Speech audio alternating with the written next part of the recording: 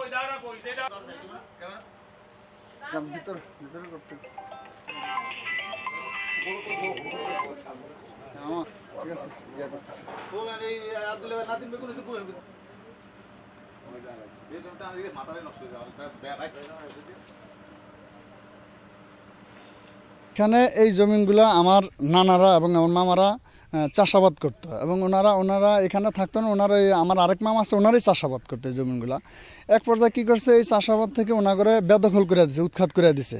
স্থানীয় ভূমিদস্যু, মিলন মেম্বার এবং তার দলবল তার লোকজনে, তার ছেলেবেলে সবাইকে নিয়ে তারা স্থানীয় পর্যায়ে তাদেরকে উৎখাত করে দিয়েছে আমাদের প্রশ্ন হচ্ছে একটাই যে আমাদের জমির কাগজপত্র যদি রাইট হয় আমরা খাব, কাগজপত্র যদি রাইট না হয় তাহলে আমরা জমিনের ধারও আসব না। তারা তাদেরকে নিয়ে আমরা এক পর্যায়ে ফাঁড়িতে পরপর চার পাঁচবার বসা হয়েছে তাদেরকে নিয়ে, এবং ফাঁড়িতে তারা কোনো প্রশাসক বা কোনো আইন কানুন নিয়ম শৃঙ্খলা কোনো কিছুই তারা মানতে নারাজ।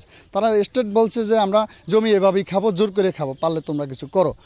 অলরেডি তারা গতকালকে এখানে মানুষ বিশ তিরিশ নিয়ে জমিন চাষাবাদ শুরু করছে। এই খবর আমরা শুনে আমরা কি করছি, আমরা থানায় দরখাস্ত করে থানার লোকজন পুলিশ প্রশাসক এসে তাদেরকে আবার এখান থেকে ইয়ে করে দেখে তারাই চলে গেছে এখান থেকে। আমরা চলে গেলাম। তারপরে কি করল দিনে না ফেরা, এই জের সূত্রপাতের জের ধরে আমার মামার বাড়িতে ভাঙচুর এবং লুটপাট, স্বর্ণালঙ্কার, টাকা পয়সা সব কিছু তারা নিয়ে যায়। আমরা রাতে দুইটা আড়াইটা দিয়ে খবর পাই অ্যাম্বুলেন্স নিয়ে আমরা আমাদের যে জখমকৃত যে মামারা আঘাত করছে, দা দিয়ে কোপাইছে, মারছে, তাদেরকে নিয়ে আমরা হাসপাতালে ভর্তি করি তারা এখন হাসপাতালে চিকিৎসাধীন অবস্থায় আছে। তবে আমাদের একটাই আকুল আবেদন যে দাবি, আমরা যদি কাগজপত্রে পাওনা হই জমি, তাহলে আমাদেরকে আপনারা সুবিচার, ন্যায় বিচার যেভাবে পেতে পারি, সেই সুব্যবস্থাটাই আপনারা করবেন। এটাই আপনাদের কাছে আমার প্রত্যাশা। আর ভূমিদস্যু যারা, তাদের জন্য পূর্ণাঙ্গ দৃষ্টান্তমূলক শাস্তি হয় এবং তাদের পূর্ণ বিচার আমরা কামনা করি। যাতে তারা এইভাবে আর গরিব দুঃখী মানুষের কোনো জমি যাতে লুটতরাজ করে যাতে না খাইতে পারে, সেদিকে আপনারা দৃষ্টি আকর্ষণ রাখবেন সব দেয় না, ওই হতার মিদ্যা লইয়া যায় জমি লাগাইতে গেছিল আমরা পুলিশ পুলিশ বাইর করি, পুলিশ বাইর করি, পুলিশ লই যখন লড়ান দিছি। এই, সেই জিদ্দে আমার একলা ভাইয়া, আমার বাড়িতে আর কোনো ঘর দুয়ার নাই। একলা ভাইয়া এই যারা রাতের দেড়টা বাজুনে এই কভার ভাঙ্গা আমার আমি কই কারা ওই কারা? এই কথা কম লগ লগা যায় আমার মায়ের দুধ দিয়া লাশ করিয়া একটা হালাই থুই এবার ঘরের গা আছিল সব বাঙ্গা সুরিয়া ওই সুকিস মুকিস ওই আমার টাকা আছিল দুই লাখ বিশ হাজার টাকা। আর দুজন সেন আছিল মায়ার এ- এক জোড়া আর মা- ইয়ার মার এক জোড়া। আর ওই স্বর্ণ অলঙ্কার মনে হয় লাখ দুই টিয়া রইব এটি সব লইয়া গেছে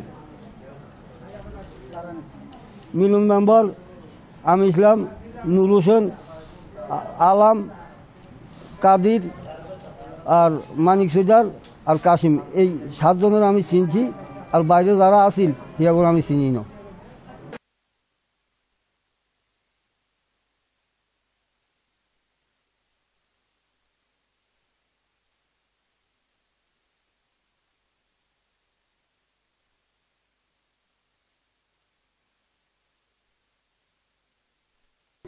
দোষের মিলন নাম্বার মিলন নাম্বারে ব্যাংসুর যা যাই আর রাতকে যাইতে একটা দেড়টা বাজে।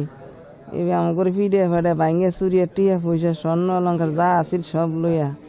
তো বাইরে আইসে আর আমাকে হুমকি দুমকি দিয়ে আইছে। আমাকে এই এলাকাতে উঠিয়ে যাইতাম। আর আমরা আর কিছু করতে পারি না, আমরা মানুষ হইলাম, দুইজন হারা হইতে করো। আগলার কেউ ইয়ে নেই। এরপরে আমার বাইকের ফোন দিছে, মতন যাইয়া মলস লইয়া তো আমাকে বলা লই আইছে। এই আমাকে স্যার এই- জমি নিয়ে আজকে দীর্ঘদিন মধ্যে মিলমূল্য গ্যাঞ্জাম চলে।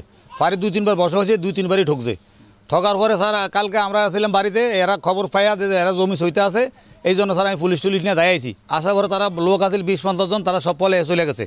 যাওয়ার পরে তারা দিনে তো আমার লোক ভাড়া নাই।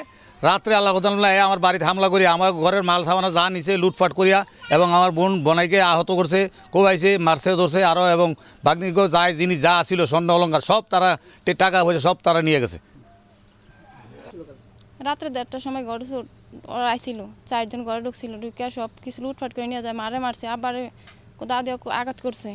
আমার থেকে মোবাইল চাইছে, টাকা পয়সা সব নিয়ে গেছে, আমার সেট নিছে, জিনিস নিছে, টাকা দুই লাখ তিরিশ হাজার টাকা ছিল হেডি নিয়ে গেছে।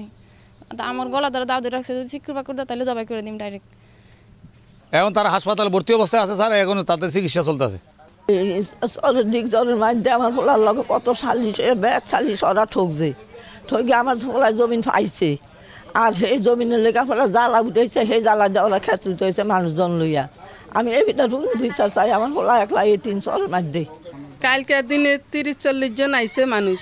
তিরিশ চল্লিশ জন আয়ার দিনে তো পারে না রাতকে আয়া। আমার মারে, বাইরে, কোবায়া, কাবায়া, জিনিসপাতি যেমনে যা আসিল, ঘরের মধ্যে সব কিছু চাল টাল, লুটফাট করে সব লয়ে গেছে। হিয়ার পরে দুই, তিনবার করে ফারিত না, থানাত বিচার হয়েছে হেরা কইছে যেন মায়েরে মারছে। এটা কি প্রতিবোধ করে না মানছে সেই পুলিশেরা দারগারা প্রতিবোধ করে না? অন, আমরা পূর্ণ বিচার চাই। রাজাপুর আট নং ওয়ার্ডের সাবেক মেম্বার, মিলন মেম্বার। উনি এলাকায় ভূমিদস্যু হিসেবে পরিচিত। উনি বিভিন্ন সময় অনেক মানুষের জমি জবরদস্ত করে খেয়েছে তারই পরিপ্রেক্ষিতে আমাদের একশো পঞ্চান্ন দাগে আমাদের আট একর জমি আছে। আমাদের কয়েকজনের মিলে আট একর জমি আছে। ওই জমি সে দীর্ঘদিন ধরে জবরদখল করে খাইতেছে। আমরা বাধা দিতে গেলে আমাদেরকে অস্ত্র ভয় দেখায়। আমরা অস্ত্র সামনাসামনি, তার সামনাসামনি না হয়ে আমরা আইনের ব্যবস্থা নিয়েছি ইলিশা পুলিশ বাড়িতে দুই, তিনবার বসছে। উনি কোনো কিছুই মানে না। তাদের রায়ও মানতেছে না না, মাইন না। উনি সেখানেই বলে আসছে যে, আমি জমিতে যাব, কেউ যদি পারে জমিতে যাওয়ার জন্য। হুমকি দিয়ে আসছে, সেখানে দ্বারকার সামনে। পরে তারই প্রকৃতিতে তো গতকালকে তার জমি চাষ করতেছিল দেশীয় অস্ত্র শস্ত্র সহ নিয়ে, মা অনেকজন মানুষ নিয়ে। তারপরে আমরা যা পুলিশের মাধ্যমে, ওসি সাহেবের অর্ডারে পুলিশের মাধ্যমে আমরা এখানে বাধা দিছি। বাধা দেওয়ার কারণে সেটা তখন উঠে আসছে। রাত্রে যে আমাদের এলাকায়, সেই জায়গায় যেই লোক আসছিল, লোকদেরকে ঘর কোফাইছে নিজের মানুষ কোফাই মানুষের কোফাইছে এবং এলোপাতারি মারছে মেয়েরা হাসপাতালে আইনা ভর্তি করছে। আমরা এর সুস্থ, তদন্ত এবং দৃষ্টান্তমূলক শাস্তি চাই তার।